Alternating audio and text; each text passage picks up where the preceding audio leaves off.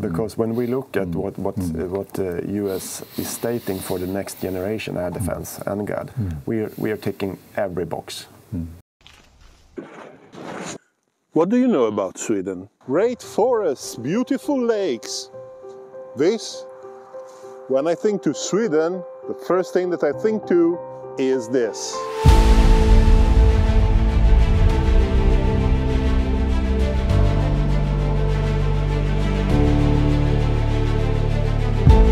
While the others are big, the Gripen is small. While the others hide themselves, the Gripen will blind you. While the others are bulky, the Gripen is slender. And while the others seem lethal, the Gripen is lethal. Today I am on a quest to understand why the Gripen is so different, and this time I'm not alone. Yeah, uh, Victor Lindman. I've been an engineer. Uh, I'm an engineer in my background and worked in Saab for 22 years now. Right, so I'm Jussi Hanotea, um, fighter pilot by trade. So spent about 24 years in the Swedish Air Force in flying Viggens and Gripens, uh, weapons instructor, um, done operational test and also developmental test. Okay, I admit it. I've always been fascinated by the Gripen. The aircraft is so different from anything else that is flying out there. Saab came up with something which is a light fighter, but at the same time, something which is so much more than a simple light fighter. And when offered me the possibility to learn more about the aircraft, I jumped on the opportunity. Because understanding the Gripen, understanding the solutions that have been chosen for this aircraft is not easy, but I guess we should start from the beginning, from the context in which the aircraft was born. Already in the in the start, beginning of the 70s or 1972, three, there, there we realized that we need a successor of the first of all the the Draken aircraft. So for for almost a decade, there was discussions on and off on how to do that uh, with different kinds of of uh, derivatives of the Viggen or or even new built aircraft, uh, light attacks or uh, or or not. And also we we made quite a, a big project with something called B3LA, which went pretty far before it was abandoned. Some clever guys came up with with this this idea, and and actually, when you're talking about the definition on on the Gripen, it's very very short from from the start. It's very very short because back then in in in the beginning of 1980 1982 it only only said it should be multi-role it had to carry the same weapon load as the Viggen but it had to be also we believe it should be half the weight mm. of the Viggen uh, because we realized that weight is significant when it comes to cost and as you know, Sweden is a very small country, uh, and we we were anticipating a enemy uh, in mass coming from the east. So we these platforms we had to buy quite a few of them, and therefore the cost is was really essential. And the last uh, and the last of these four main tasks was also that uh, it had to fit the the dispersed uh, road-based system that we have de developed on, uh, during decades. To be able to take off from uh, runways uh, length 4 to 500 meters and to land uh, on uh, 7 to 800 meters. So that's kind of the leading leading requirement for, for that kind of operations. And then, of course, looking at the evolved threat on our doorstep in the east. Uh, so to be able to do, uh, first of all, counter air, so air policing task, it's the primary task, but then also uh, to do um, uh, anti-ship operations, anti-surface operations. As you know, it's a littoral, very littoral scene in uh, our surroundings. So this is interesting. There wasn't too much money, so they opted for a light aircraft because weight is correlated to cost. They also needed an aircraft that was going to fit into the Swedish system of dispersed air bases with small teams taking care of one aircraft, two aircraft, four aircraft tops. That's okay, but cannot be everything. You can't design without considering your potential opponent. And in the East, they had a massive, massive threat.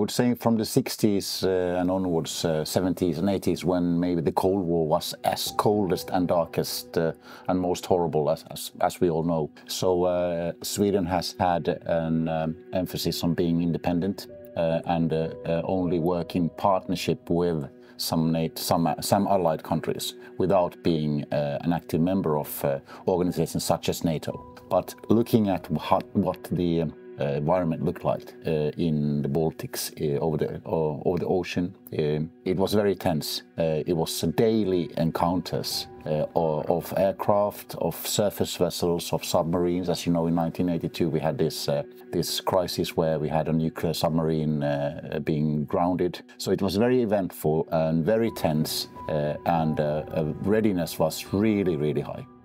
So that was kind of what what kind of determines the period from the 70s, 80s until the beginning from the 90s. Mm.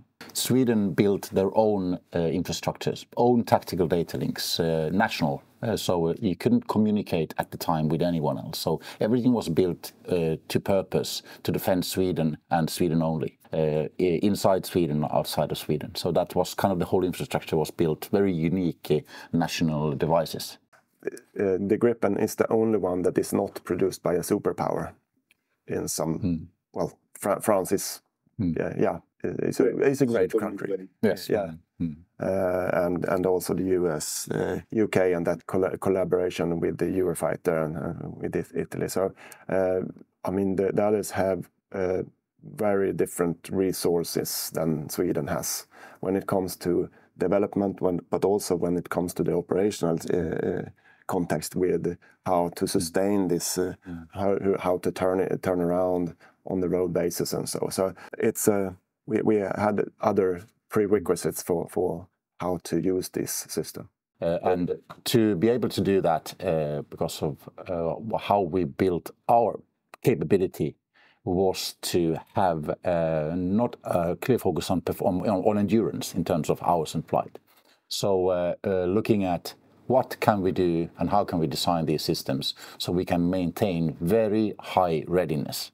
So we can have uh, very only a few minutes from our road base up into the air and then land and do very quick turnarounds and then fight again. So that was kind of uh, the first line of response.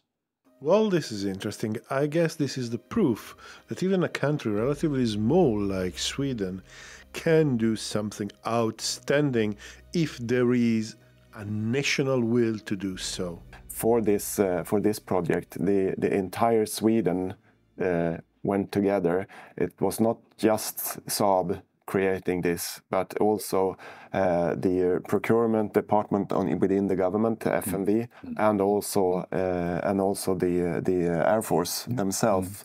created something called the IG which is Industrial Group Gripen, uh, Industrial Group JAS. Mm we made this come through collectively, mm. in a sense. Uh, and I think that's kind of unique. But it, it was that oh. we had a, a, little bit the gun pointed to our heads, and, and we, we needed to do this collectively. Mm. Uh, I'm not sure that it went smooth all the way, and because uh, people have different opinions. But in the end, I think the outcome was really, really good. Um, we, do take our chances uh, because innovation has also been we know that that we are we are small uh, and we have a big threat against us. So we have to be creative and innovative to actually stay in the lead. Uh, and that has been the case for basically all of our aircraft.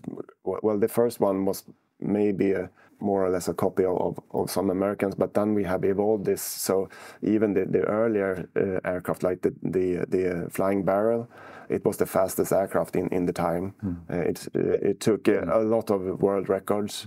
Mm. we, we made from the, uh, the that J21 was the first one with the with the uh, with the serial production of the rescue system, the the uh, um, ejection seat, and, and so we continued also with the with more known innovation like the double double delta, which was introduced in the Draken. Uh, that was unknown. Okay, there you have it. You can sum up what my guest said in just one word asymmetry. Be different, do something different than your opponent. You can't be asymmetric without innovation. And in this case, innovation is the Gripen E. Since we're talking about a lot of Gripen in, in A and B, basically, uh, what we now bring in in the Gripen E, the latest version, is a totally digitalized uh, aircraft, which is another step. I would, it's a main main step. It's a it's a, what kind of a new generation actually. Mm. Uh, although it looks a little bit like the same, uh, we brought the best things out, of the Gripen ABs, and and uh, now it's a totally redesign mm. internally. The interesting thing with that is, I'll just add quick shortly, is that because it's a new design with new avionics structure, uh, gives you uh, possibilities to test uh, in a lab on a rig different way different ways than before uh, and it's interesting leading on to the airworthiness certification for the aircraft where we believe that we have to do a lot less testing but there are no regulations uh, with the civil aviation authorities which still are in, in boss of the of the airspace. So we have to do a lot of testing. We think that we don't really need to because we have to adhere to all the civil aviation regulations. So it's it's a it's a regulation because regulations for these types of uh, software infrastructure does not exist yet. There's another element that always puzzled me. The Gripen was designed when stealth was becoming an important factor in combat aircraft design, and yet it seems a rather conventional aircraft. I'm not thinking that Saab was unaware of this trend, but there must be a reason for that. Uh, well, actually, in the in the early days on on on the specification, Gripen is actually the first Swedish aircraft that has uh, some requirements on the RCS. Oh, okay. Yeah, it, it, it did actually, uh, but uh, I guess back then and, and still the cost of of, uh, of going too far in the RCS domain is very very costly. So again, I think it was more about finding alternatives. And, and back, of course, Gripen is a small aircraft also, so that it benefits from, from being small physically. Uh, but there are, of course, we've done some some things, but but uh, to reduce it. But but uh, it's not been the, the main task now because we we saw other alternatives to that to to that technology, mostly because of costs. I would say also, uh, well, uh, because I'm an I'm a warfighter operator, so I don't really think uh, care about money. Really, I just go and fly. So operationally, it's very important because of going stealth or geometric stealth, which is kind of what is attributed to stealth, the air, airframe shaping and panels. That's shape. That's stealth. But you can take another aspect of stealth because stealth is really about reducing your signature. So it's a low observable signature. And you can do it at different ways. You can do it by shaping your air, airframe, which can be uh, labor-some and costly to maintain. But also, if you look at how the threat and the sensors are developing and evolving, now you look at uh, uh, radars on uh, on UHF, VHF band. You look at MIMO, LiDAR, other kind of uh, network radars and radar sensors that, uh, that, that are now fielded already. And those systems can detect stealth, and we all know it. So we have chosen another path where we do low observability by means of electronic warfare instead. So that has been the clear operational concept of operation idea uh, as an early start. So that's how we create LO stealth or survivability. You can call it e-stealth or whatever. It's going to be the different people call it different things. Uh, so that's just the kind of operational concept of it, the, uh, kind of besides cost and design. Well, yes, the Gripen electronic suite, the one that made the British Typhoon pilots say that the Gripen could get scarily close before being detected. Well, there's hardware and there's software, and there's uh, all kind of different uh, apertures, as you know. Uh, so we, and they they keep evolving all the time. So with Gripen E now, uh, well, I'll start with saying what electronic warfare is in the warfighting arena of military fighter platforms. So it's going to be defined by electronic protection, electronic attack, and electronic support measures. So now with Gripen E from earlier versions A, B, and CD, it's a whole new capability which we're introducing in terms of uh, what we can do, uh, what wavelength we use, uh, what different jamming techniques we are using, and how we are integrating that into the tactical air unit through tactical data links, how we can work collectively. Uh, active, passive sensing, um, focused threats, uh, and so on, and so on. So that's kind of the concept that we look have been looking at, and we are evolving constantly. I think that's probably deep, uh, deep as as I can go in kind of looking at and de describing it. Uh, technical. Yeah, but, but also, also that is connected to the seamlessly now into the new avionic, mm. uh, avionic system that we have. So and and being able to upgrade these things as uh, as the war develops, mm. rather than than on on a MLU at some point. Uh, so we can we can be very very flexible when it comes new new you you you see now new threats and how you want to change the system. Mm. It can be done in days. And it's beyond uh, a technical library for which everyone can do. You can update your electronic warfare library or ESM library or whatever. Now you can actually when there is a crisis, when you start seeing the real wartime, real emitter data out there uh, of your opposition, you can then use that information and tweak your tactical system, such as radar, such as weapon systems, such as communication. And you're in control. You don't have to send it overseas to a big nation in the West and wait for three months and get a, a large bill to that. You can do it within days, within weeks, at squadron level within your own country, yeah. independently. Mm. Without mm. uh, disturbing the integrity of the, the yeah. vital mm. th things in the system. Yes. So, so that, that is that is unique. Yes. No one has done it before. Mm.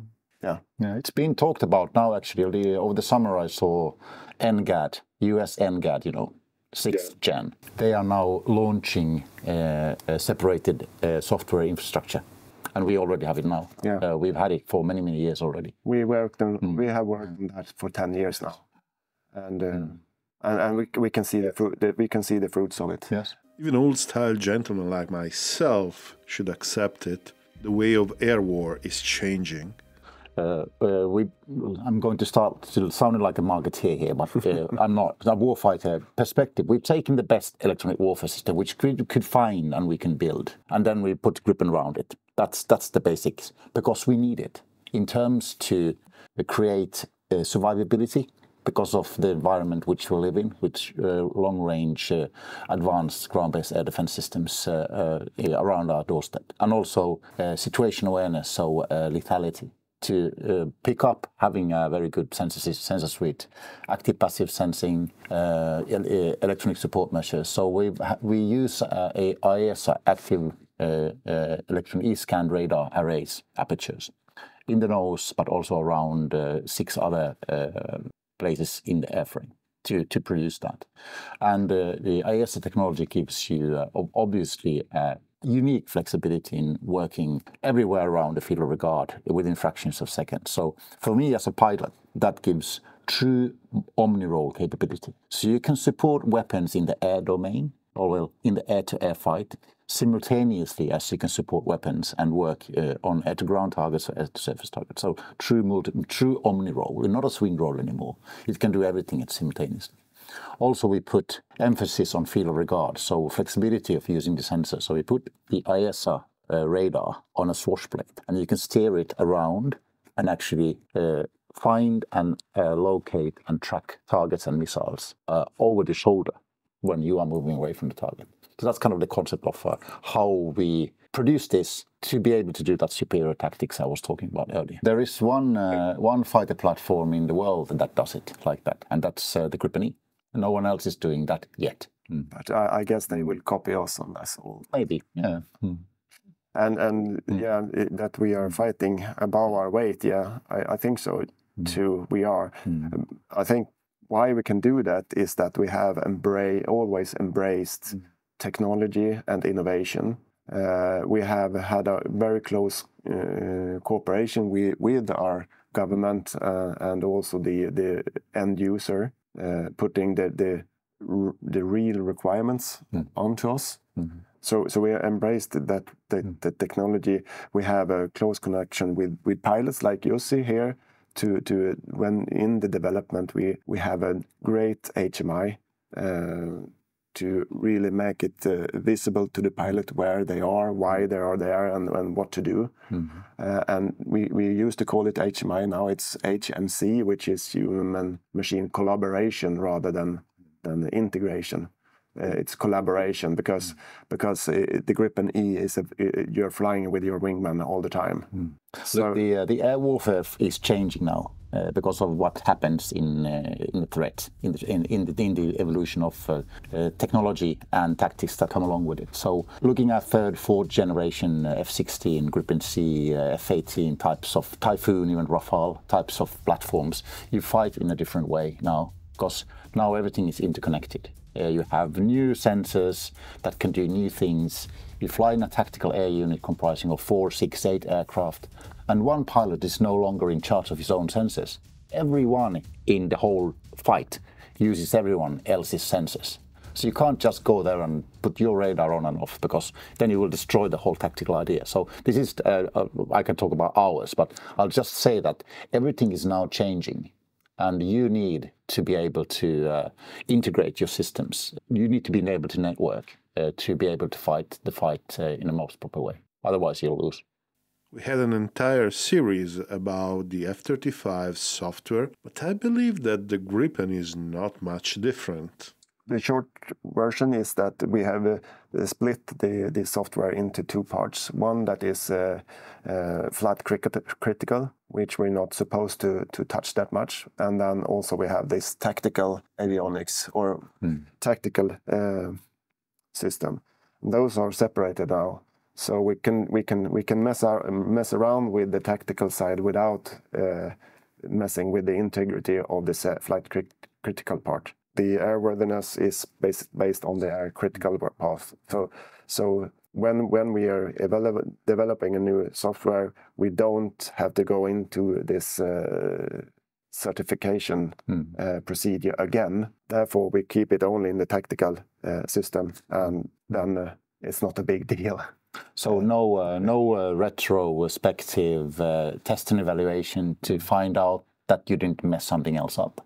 And also you can take the, the mission part of that mission computer and do much of the testing in your rigs and in your labs already to see that it will actually work. Uh, which means that also that then mandates you to do much less uh, validation and verification on what changes you have made. the other bits is here that much of this thing you can do maybe not on the squadron level on an airbase uh, under a tree in the snow, but not not far from it. So you can do much of that uh, as a as a warfighting air force uh, within your own organization. Uh, so you have the independence and the power to change things as you like. Was that uh, clear enough? Or? Hmm? I suppose that I will get comments saying, no, we want the details, how many processes are running, which are the processors, which are the computers, how, ma- how much memory do we have?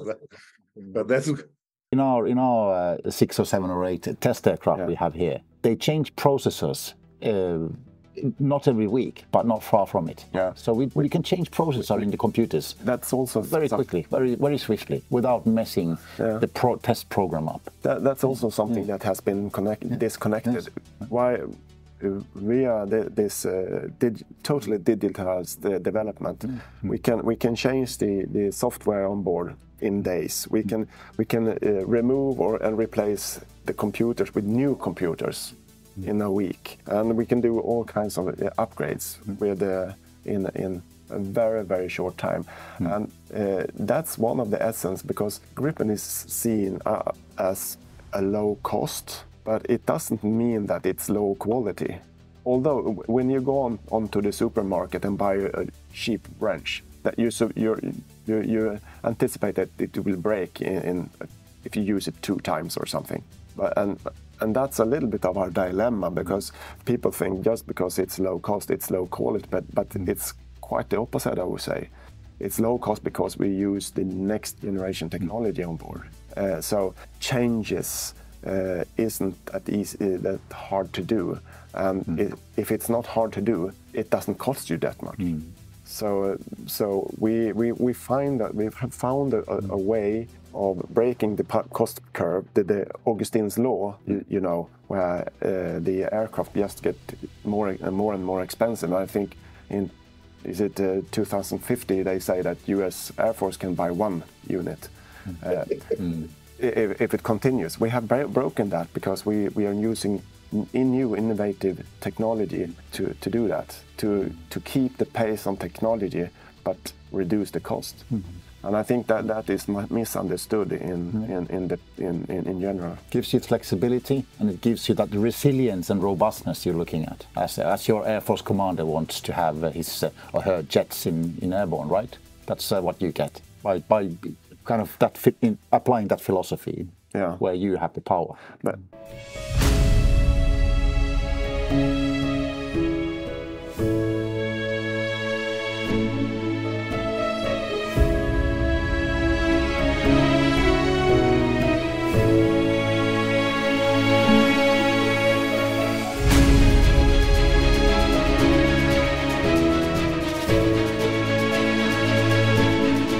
when we look at what what mm. what the uh, U.S. is stating for the next generation air defense, NGAD, mm. we are we are ticking every box. Mm. Uh, except maybe the, maybe the range and endurance. Yeah, maybe range and endurance. But but mm. when it, when it comes to development new new systems and mm. and the pace to do it, mm. uh, we are already there.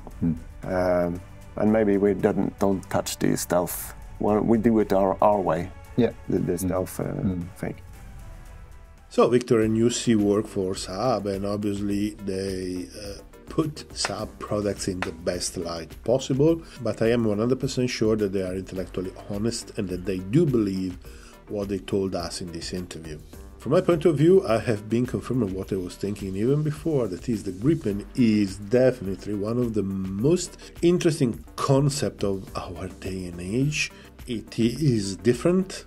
It has so many interesting solutions and um, yeah probably came along at the wrong time against the wrong aircraft anyway thank you very much to saab for giving me the opportunity to interview our friends if this interview inspired you to learn more about the Gripen, there are plenty of videos on the channel, and these videos are going to appear beside me. If you click on them, it's a good way to support the channel.